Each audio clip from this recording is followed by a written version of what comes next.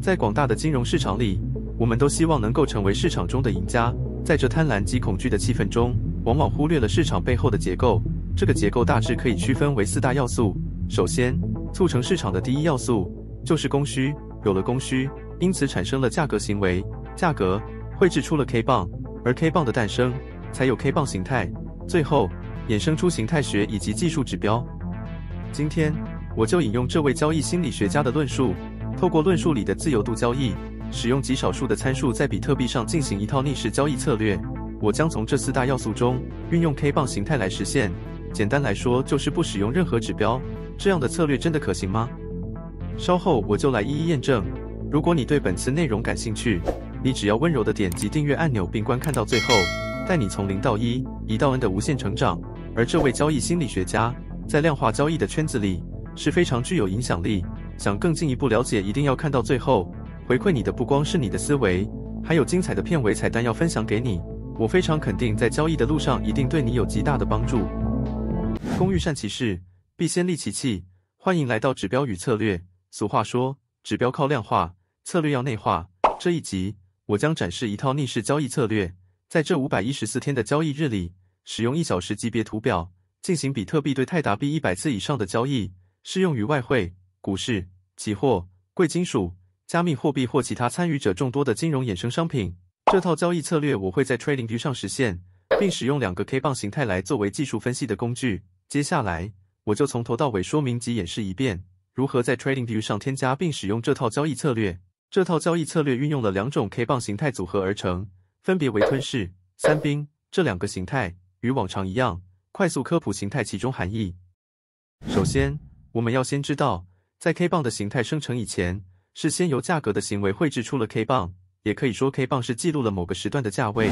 若图表级别在日线，就是一天一根 K 棒；若切换成小时线，就是一小时一根 K 棒。而日线的组成，就是由二十四根小时线的 K 棒组合而成。其他的图表级别就以此类推，这里就不做额外的说明。关于 K 棒，在本集也扮演着判断进场的重要角色，所以它也要一并被抓来科普。就因为 K 棒长得像蜡烛，有人称为蜡烛线。也有人称为 K 线，不同地区给 K 棒的命名、呈现的样貌以及颜色都些许不同，这里没有一定，只要知道它的意思即可。在国际间，绿色代表收涨，可称红 K 或阳线；红色代表收跌，可称黑 K 或阴线。当 K 棒呈现绿色时，代表收盘价大于开盘价；相反的，当 K 棒呈现红色时，代表收盘价小于开盘价。上影线代表价格曾经来到这里的最高点。下影线代表价格曾经来到这里的最低点。这里请注意，上影线及下影线这两条影线是我们本次要判断进场条件的配角，请不要忘记它。再来是 K 棒形态里的吞噬形态，吞噬形态就是我们本次要判断进场条件的主角。这个形态可分为多头吞噬及空头吞噬，它是由连续两根 K 棒组合而成。若依照原文来说明它的进场方式，当价格触底或价格触顶时。运用两根 K 棒来进行价格反转的交易行为，但今天我们引用它的原文，稍微调整一下，使用三根 K 棒来进行。以多头吞噬为例，当价格触底时，当下这根 K 棒我称它为第一根 K 棒，上一根称它为第二根 K 棒，上上一根称它为第三根 K 棒。当第一根 K 棒收盘后，K 棒要收涨，收盘价要完全大于第二根 K 棒，记得完全大于代表包含了上影线，这样才符合吞噬的意思。而第二根 K 棒收盘后，K 棒要收跌，收盘价要小于第三根 K 棒的收盘价。记得小于不包含完全小于，所以下影线就不包含在内。最后第三根 K 棒收盘后，K 棒要收跌，全部条件符合后，第一根 K 棒的下一根 K 棒开盘价就是进场点位。相反的，空头吞噬就是把多头吞噬到过来的意思。当价格触顶时，当下这根 K 棒我称它为第一根 K 棒。上一根称它为第二根 K 棒，上上一根称它为第三根 K 棒。当第一根 K 棒收盘后，K 棒要收跌，收盘价要完全小于第二根 K 棒。记得完全小于代表包含了下影线，这样才符合吞噬的意思。而第二根 K 棒收盘后，K 棒要收涨，收盘价要大于第三根 K 棒的收盘价。记得大于不包含完全大于，所以上影线就不包含在内。最后第三根 K 棒收盘后，K 棒要收涨。全部条件符合后，第一根 K 棒的下一根 K 棒开盘价就是进场点位。最后要介绍的 K 棒形态叫做三兵形态，这个形态可分为红三兵及黑三兵。红三兵就是连续三根收涨的 K 棒，而黑三兵就是连续三根收跌的 K 棒。这里就直接引用它的原文来作为本次的出场信号。当多单进场后，遇到连续三根收跌的 K 棒，这代表市场卖压越来越强烈，我们就再下一根 K 棒的开盘价进行多单平仓。相反的，当空单进场后，遇到连续三根收涨的 K 棒，这代表市场买气越来越强烈，我们就再下一根 K 棒的开盘价进行空单平仓。说明完以上会用到的 K 棒及形态，接下来。我将结合实例说明交易规则，并且让大家知道如何将这套交易策略运用在市场上。进入到交易规则，这是在加密货币比特币对泰达币一小时级别图表进行多单的规则。第一，在图表中标示出每日开始的第一根 K 棒。标示完成后，让我再退回到五月一号来开始说明。第二，随着时间的推移，当 K 棒来到了新的一天的开盘日，也就是五月二号。我们就标示出昨日 K 棒的最高点及最低点，这个最高点及最低点就是要用来判断多头或空头的信号。若当下收盘后的 K 棒有跌破昨日 K 棒的最低点，我们就是为多头信号；相反的，若有突破昨日 K 棒的最高点，我们就是为空头信号。这里可以看到，这根收盘后的 K 棒已经跌破昨日的最低点，但是先别急着进场，因为我们还需要加入形态这个信号来判断。第三。当符合多头吞噬的形态时，相信大家一定还记得我给这三根 K 棒的编号。当下这根收涨的 K 棒等于一，上一根收跌的 K 棒等于二，上上根收跌的 K 棒等于三。二的收盘价要小于三，也就是连续两根收跌的意思。一的收盘价要收涨，并且完全大于二，完全大于代表包含了上影线。全部条件符合后，对应到的 K 棒就是我们要找的关键 K 棒。关键 K 棒的下一根开盘价。就是我们要的多单进场点位，停损，使用进场价的百分之六来作为停损点位。数据窗口显示进场价为二七九九一点九，减去百分之六等于二六三一二点四，这是百分之六的计算公式。停利，当进场后，从进场价获利了百分之二，此时我们就让获利持续奔跑。数据窗口显示进场价为二七九九一点九。加上百分之二等于二八五五一点七，这是百分之二的计算公式。在获利持续奔跑的过程中，直到出现了黑三兵形态，也就是连续三根收跌的 K 棒，而它的下一根开盘价就是我们要的停利目标。可以看到，我们的多单停利目标最终在这里击中了这根 K 棒。另外一个多单出场的方式，当多单进场后，除了专注于停利的点位外，同时也要专注于前一日 K 棒的最高点及最低点的变化。在尚未平仓的过程中，若跨越到了新的一天，我们就要检查前一日 K 棒的最高点及最低点。如果遇到符合空头吞噬的信号，这也代表价格有很大的几率反转。此时不要再期盼黑三兵形态的到来，我们必须把手上持有多单部位平仓掉，并进行空单进场。这个方式有很大的几率让你持仓的部位小赚或小赔出场，可以有效避免进场后遇到价格的反转。因为如果真的打到六趴的停损，心会很痛。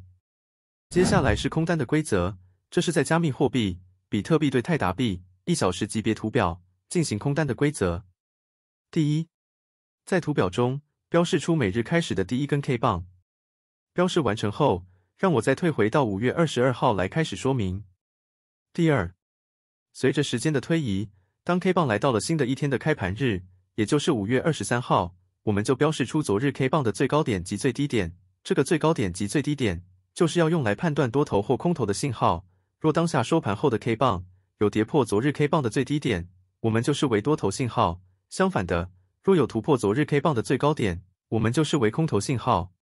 这里可以看到，这根收盘后的 K 棒已经突破昨日的最高点，但是先别急着进场，因为我们还需要加入形态这个信号来判断。第三，当符合空头吞噬的形态时，相信大家一定还记得我给这三根 K 棒的编号。当下这根收跌的 K 棒等于一，上一根收涨的 K 棒等于二，上上根收涨的 K 棒等于三。二的收盘价要大于三，也就是连续两根收涨的意思。一的收盘价要收跌，并且完全小于二，完全小于的意思代表包含了下影线。全部条件符合后，对应到的 K 棒就是我们要找的关键 K 棒。关键 K 棒的下一根开盘价就是我们要的空单进场点位。停损。使用进场价的百分之六来作为停损点位，数据窗口显示进场价为二七二九六点零，加上百分之六等于二三六一二点四，这是百分之六的计算公式。停利。当进场后，从进场价获利了百分之二，此时我们就让获利持续奔跑。数据窗口显示进场价为二七二九六点零，减去百分之二等于二六七五零点一，这是百分之二的计算公式。在获利持续奔跑的过程中，直到出现了红三兵形态，也就是连续三根收涨的 K 棒，而它的下一根开盘价就是我们要的停利目标。可以看到我们的空单停利目标最终在这里击中了这根 K 棒。另外一个空单出场的方式，当空单进场后，除了专注于停利的点位外，同时也要专注于前一日 K 棒的最高点及最低点的变化。在尚未平仓的过程中，若跨越到了新的一天，我们就要检查前一日 K 棒的最高点及最低点。如果遇到符合多头吞噬的信号，这也代表价格有很大的几率反转。此时，不要再期盼红三兵形态的到来，我们必须把手上持有空单部位平仓掉，并进行多单进场。这个方式有很大的几率让你持仓的部位小赚或小赔出场，可以有效避免进场后遇到价格的反转。因为如果真的打到六趴的停损，心会很痛。最后又到了干大事的时间，没错，我将进行一百次以上的复盘回测，初始金额为一万泰达币，杠杆使用一比五十，使用百分比权益，交易手续费为百分之零点一。事不宜迟，让我们开始吧。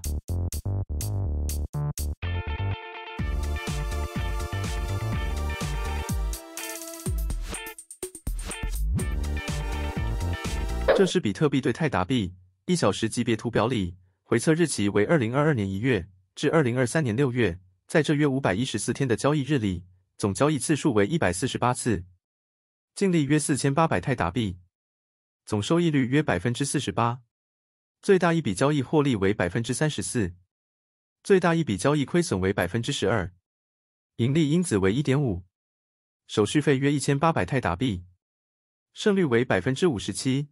其余绩效摘要，请自行参阅。净值曲线图由左下角至右上角初始金额的净利变化，我们可以看到，在没有使用任何指标的情况下，使用极少的自由度，也能获得创高的绩效图。最后的最后，又到了片尾彩蛋小剧场。没错，我将赠送本集所演示的指标与策略。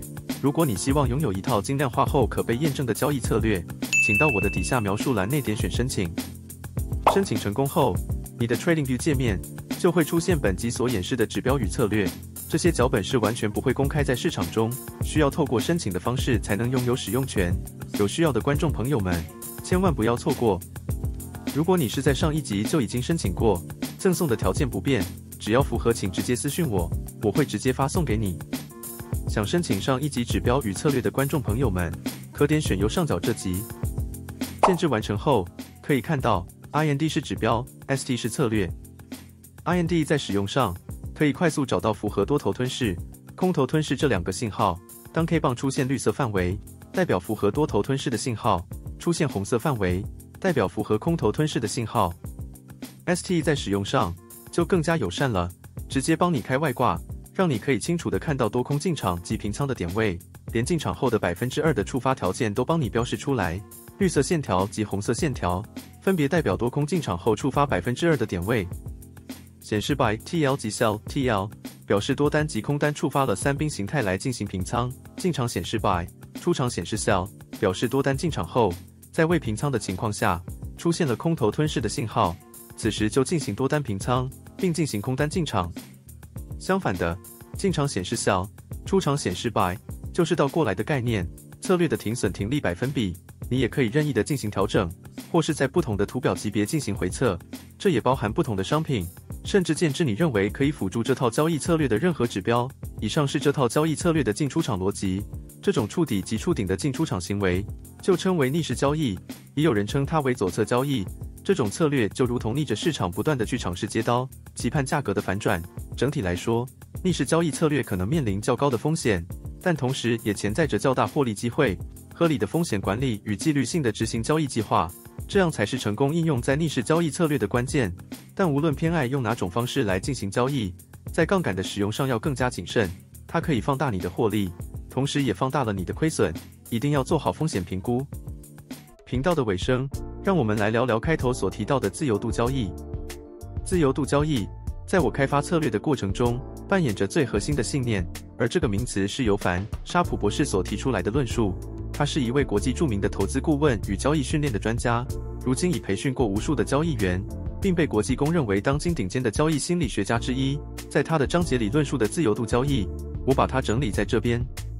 而它的重点说明了，在一套策略开发的过程中，不要过度使用自由度来追求历史资料的完美绩效。虽然拥有完美的绩效，可是，一旦进入实盘交易，这套策略就会有很大的几率宣告失败。这就是所谓的过度最佳化。所以。建议在策略开发的过程中，不要超过四个或五个以上的自由度。内容所谈到的自由度，其实指的就是指标。分享完沙普博士在自由度交易的这篇论述，他引用了交易系统编程的比喻来谈到过度最佳化的问题。或许听完后，部分的观众朋友还是没有办法很完整的理解。如果依照我个人对过度最佳化的见解，我会引用孩子成长的过程中这段词组来作为比喻。避免过度最佳化，就如同孩子在成长的过程中，身为父母亲的我们给予他们什么样的教育方式？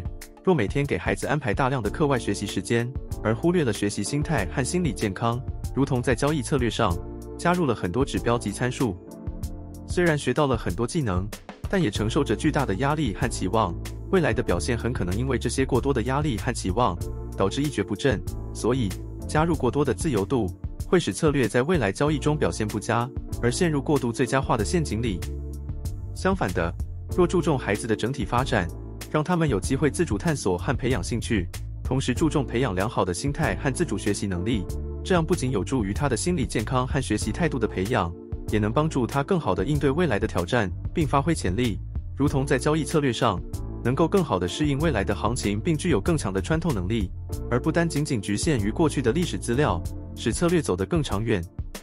以上引用的比喻是我个人的见解，不代表诠释了过度最佳化这个名词。